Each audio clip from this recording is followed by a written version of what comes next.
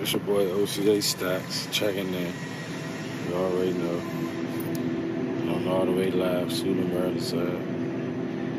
Big paper chases, 35 Brad Place, you know what's going on. Really fucked up when I fucked up in the past, really trusting everyone one that's trying to come on a night. Only thing a nigga really never fucked up was the re up in the money that was put into the pot. I'm a hard code, never trust none of these niggas. I just seen their paperwork where I know they really high. I can give a fuck with a bitch nigga guy. He ain't never spent a minute, he ain't coming to the spot. What was it like growing up in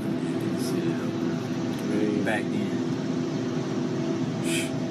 Fun, dangerous. It ain't like it is now. fucked up.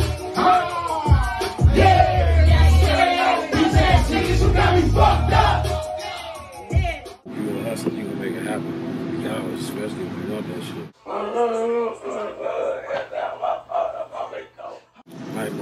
Daddy took me on a run with him. He used to have my grandmother meet him at the hospital. He'd come get me from the hospital. He'd go out the back door. That's some whole other shit.